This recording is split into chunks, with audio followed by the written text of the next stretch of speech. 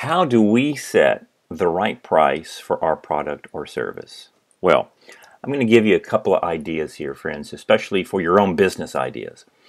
Well, we have the cost base. All right, we have our we have our fixed cost. That's everything that our business operates on. That's well, well the fixed is your your your rents for your building, uh, possible full-time employees, uh, equipment, etc., etc. Your variable costs are what actually cost you. This is just for you know having an organization, uh, a place to go to. This is the actual costs or the cost of goods sold for that product what type of material, supplies, etc., etc. That's the total cost. All right.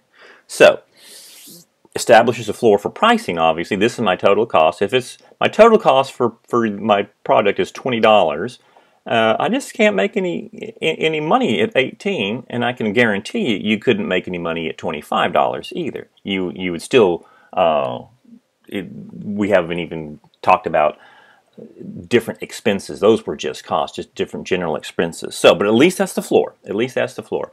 I think for the young entrepreneur, the small entrepreneur selling a product, we want to look at gross margin pricing. We got to at least come up with a point. And so, to get your gross margin pricing, for those who've taken accounting, it's your selling price minus your cost of goods sold, all right, and you divide back by your selling price. So, if we just take a quick example, um, we have a product that sells for $100, it costs you to make that product. All right, that's on the shelf or online. And uh, so 60 to, uh, to produce it. So you have 100 minus 60 and you divide it right back by your selling price. So 40 divided by 100, so you, you can get a percentage this way, is a 40% gross profit margin. Now, is that a profit margin? Full net profit? No, because you have expenses, all right? You have depreciation, you have all sorts of office expenses. Uh, yes, there may be different salary expenses, lots of expenses. So that number, self-employment tax, is going to go down very quickly. Okay. Now it can be done on a single unit or the entire company. Let's let's look at it again. All right. You're saying this. I'm I'm selling. I'm buying a product and reselling it. Uh, what? How do I get a 60% margin, what would be my selling price? So we would take this. We know our product costs $50 and I want a 60% gross margin. This is probably this is the way to do it. So I do 50 mine divided by 1 minus my gross margin 0.60. So 50 divided by 0.4, my selling price is $125. That gets me the 60% gross margin. This is where we need to live all right, in, in our business ideas, we need to live at least at the 60% gross margin because there's probably other expenses in our business that we have act actually forgotten. We haven't incurred them yet, but you will, and uh, you want to be able to absorb the, have a cushion to absorb those. So, if we wanted a 70% gross margin, I'm liking that. $6 for the product, all right, okay. So 6 divided by 1 minus 0.7 is 6 divided by 0.3, a 70% gross margin profit. That, that product would sell for $20. Now, why do we need to stick in this range right in here? For this reason. Walmart operates on about a 30 to 35% gross margin. Now, how can they do it? Because they just have such massive volume. They can, they can hit it that way. Uh, you cannot get in a price war with, with an organization like this. They can just bury us down. Now, we're going to have to do something a lot more to get that 60% gross margin. We're going to have to be absolutely amazing in the product or service that our business is selling. Here's why we like gross margin pricing. And again, I've gotten most all my research is from from our, our textbooks, from great internet sources, from Inc., from Fast Company, uh, small businesses. So um, I'm getting their information and just giving it right back to you. You know, you can do a price increase. Wouldn't wouldn't we love that? So if I increase my prices five percent and I had a 50% gross margin, I could sell 9% less and still maintain my same profitability. Sweet. If I had a 20% increase on my price, and I had that, I was originally at the 50% gross margin, I can sell 30% less and still maintain my profitability. Well, that's nice to know. And sometimes if we do increase prices, we may have less sales, but we also may have less costs and overhead and also in uh, employees and so and, and work to do. Now, this is if we increase. Now, we know we live in that Walmart mentality where it's low prices, low prices all the time. Give me your better deal. What happens if we decrease our prices on a gross margin? Is it an inverse relationship? Because it's going to be. I decrease 5%. Well, who cares about 5%? You know, that doesn't get us out of bed in the morning to go to a sale. Let's look at a 20% reduction in prices, okay? And these are some of the margins right in here if we were operating. And so that's why we got to get well above a 40% gross margin. It just doesn't pay. A 20% reduction in price. Okay. At a 40% gross margin, what do I have to do? 100%. I have to double my sales in order to maintain the same profitability. So I sell 100 units at, units at 40% gross margin, reduce my price by 20%. I must sell 200 units to maintain that same gross margin dollars. Let's look at this. If I sell 100 units at a 60% gross margin, okay, now that's what I like, right? I reduce price by 20%, I only need to sell 125 units. Okay, so that's so that's 25 more units to gain the same profitability. So I don't have to do as much work right in here. The key, you got to maintain high prices. Okay, we can go down, but if you're going down from here, you're dead. You, you just you know just hang it up. You, you're not going to make any money. Uh, we got to do something different. We can't just compete on price our marketing mix, our ideas have to dictate we, that we can sell at a 60% plus gross margin. Now, wait a second. That's great, Randy, but I'm a consultant, okay? I'm an independent creative sort. Um, how do I price that? And I, and, and I hope you are. I think many of you are going to be able to be consultants. Obviously, after my great uh, tutelage, uh, you're all marketing experts and business experts. But maybe you want to do that. Maybe you're going to do a little bit of both. You're going to have a service and you'll sell a product. All right? Design services, you know what I mean. So, here's a great way to look at that pricing model services. Take your desired salary that you like. I see this too often, my friends. Maybe we're in college and uh, you are desktop publishing, you're again social media, and you're doing things for people, and you say, you know what, I'll uh, I'll charge you 25 bucks an hour. Uh, you're, you're hurting yourself because you become very good at that and then you want to do this full time and they say well well hey uh, you know zoe you said you were charging $25 an hour. Uh, you want $100 an hour now i'm not i'm not buying that so i know from experience because i did that in college in my landscape services. And then when I tried to do it on my own, I had to absolutely erase those customers I was working for and get brand new ones because they thought I was always going to work for, for nothing. So your desired salary, figure out your overhead costs, your desired profit margin, and amount of billable year uh, hours in a year so we can come up with an equation. Okay, so determine salary you want. You got to calculate your overhead costs. Well, you, you may have rent, all right? Well, you could be working out of your apartment be working out of your home. Use that. That's a number. Maybe you're actually going to go and uh, rent some office space. Again, I, I think what we want to do is figure out what office space we would have to rent and put it in there and still work at home. Maybe we're going to go to WeWorks if they're still in business. I know Dallas, uh, the city of Dallas has Dallas Entrepreneurial uh, Center where you can literally rent out some creative space for very little a month.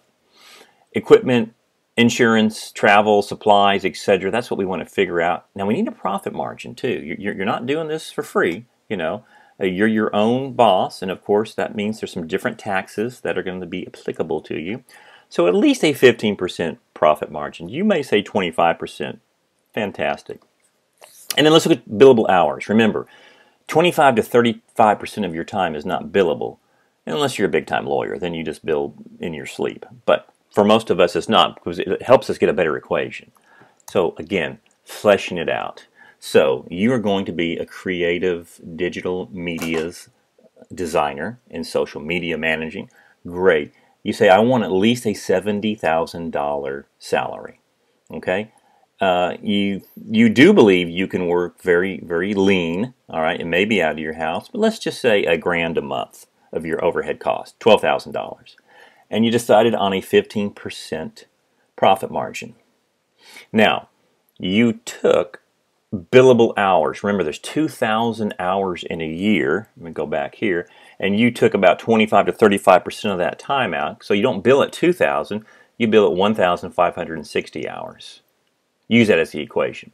So we take the 70, all right, and we take the overhead costs. That's $82,000. Always put your costs in there. Now we multiply that by 15% profit margin. It gives us another $12,300. Add the 82, that one and that one together. We get $94,000 and we divide that by your billable hours. So now you have a much better rate. You're going to say, I'm going to charge $61 per hour for my creative services versus just thinking up a wild ass number like, yeah, man, $32. Okay. Well, you're really going to shortchange yourself. This would put you on track for that. Now, at least you have a number. It, it, it gives us a good starting point. Let's say a company wants to hire your services and they want uh, 20 hours per month. Okay, so if we simply did the 20 hours per month, if I can get my calculator out here, that comes out to $1,220. And you can say now, all right, I'll give you, that's my normal rate, but if you bill, if you book me for these 20 hours a month for the next year, I will bring it to $1,000 a month. I'll give you a package deal. Understand? This really ought to help you out and for your services that you're going to charge for. And again, you can use a combination of both. How do we maintain a high price? How do we position that we need to position against our competition so we can charge a premium price. So let's look how we can do that. An excellent way is the competitive landscape table. The competitive landscape table basically puts your competition, and as many of you know, I did manage and was a minority owner of Glade Gardens in the 1990s, and we were a full service garden center and during this time, Southlake, Colleyville, even Grapevine, and some of the HEB was still developing very, very hard, and lots of new homes going in. And so we had a great opportunity to expand and grow our business. But we had three large competitors Walmart, Lowe's, and Home Depot. And they came in really looking at this market uh, to capitalize because, hey, if we can sell you lumber, if we can sell all the things you need and your plant material for your uh, for your house, then you never leave our store versus coming to a just a specific specialty store. So, we put right in here this was what we would call your critical success factors. What do you need to stay in business? And so all the things that we did was their service, design, installation, maintenance, the plant selection, specimen plant selection versus just standard low price and high. Let's see where everyone was positioned. Well, Home Depot did not do, or Lowe's, or the big ones, they don't do service design or installation. We certainly did. We did the service, we did the landscape design, that was my specialty. And so we could go out and have a new constructed house, and we would do all the landscaping from design, installation, and even many times maintenance. Very few were competing in that space and that's what that's what this is. What space are we competing in? And so standard plant selection. Well sure you know you can get just your basic shrubs at uh, or flowers at home depot lowes and walmart and I'll, I'll be honest they've got a pretty good selection but they don't carry the specimen plant selection we were ordering from california all the way to connecticut we we had a vast number of suppliers we could use and so they were very instrumental in helping us build our business.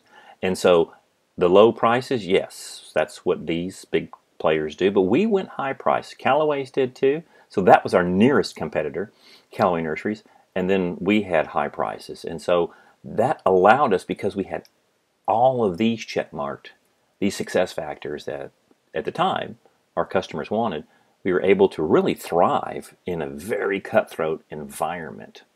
So, can you do this for your marketing plan? Again, pick out two or three of your competitors. Now, if you're doing Sophie's uh, vegan food truck, all right, you can pick other food trucks that you might come across, or or even restaurants. Food trucks is a little bit interesting because they they the research uh, is a little difficult in the local area to find out what food truck is at what place, but but certainly we could look at different restaurants and different catering. And since she's doing vegan, Latin American, and Tex-Mex food, I think she has a very interesting space where she's going to compete in, and I think she can get that high price. Uh, again, the events, the parties, the uh, the great food and cuisine that she's going to have, match it up. That we that's some of the success factors. And if you're doing your own marketing plan, what is it going to take for you to be successful? That's just a critical success factor. Put it down there and see who else is doing it and where you can you can compete, where you can find your space. And a positioning map looks like this. It just sets it right in this area. There's the high price.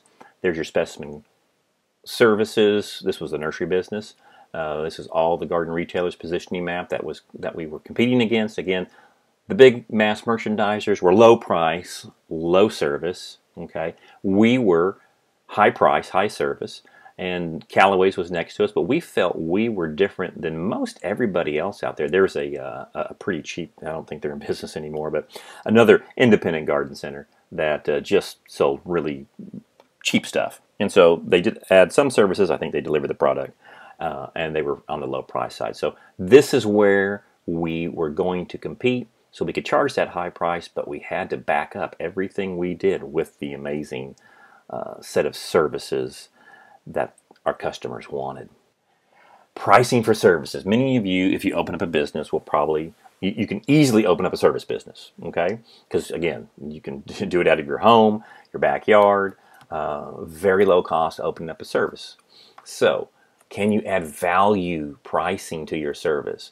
Now, I did mention that I was responsible for landscape design for Glade Gardens, and and, and we know we, we, we kind of ad hoced that together, which just means we just flew by the seat of our pants and we said, wow, so many people are coming in. Tell you what, we will basically do $150 for a landscape design.